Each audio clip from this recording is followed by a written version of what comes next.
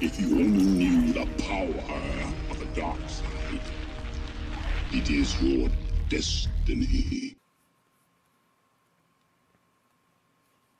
Hello, everyone. It is June 12th, 2014, and this is Take the Gate.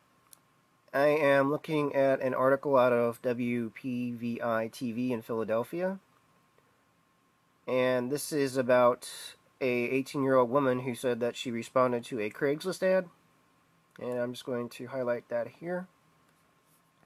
And she was applying to be home health care aide. So as this home health care aid ad was placed on Craigslist, this person right here, by the name of Kevin Cornish, who looks like he may be former military, and I can't prove that, but she went to this person's home. And he then raped her. And when she arrived, he said that the job was not for home health care aid, but it was for a sex for hire company. So he forced himself upon her and she was able to leave after he raped her.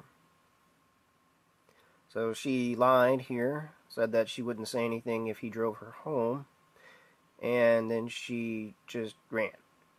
So I just wanted everybody to see this in case there's more victims out there. The police are looking for you if you have had an encounter with this person right here. His name is Kevin Cornish. He is 42, and he's an alleged rapist in this Upper Darby, Pennsylvania area. So that's what's going on. This is Take the Gate. Please comment, rate, and subscribe. Thanks for watching. Give everybody a link so that they can go read it for themselves.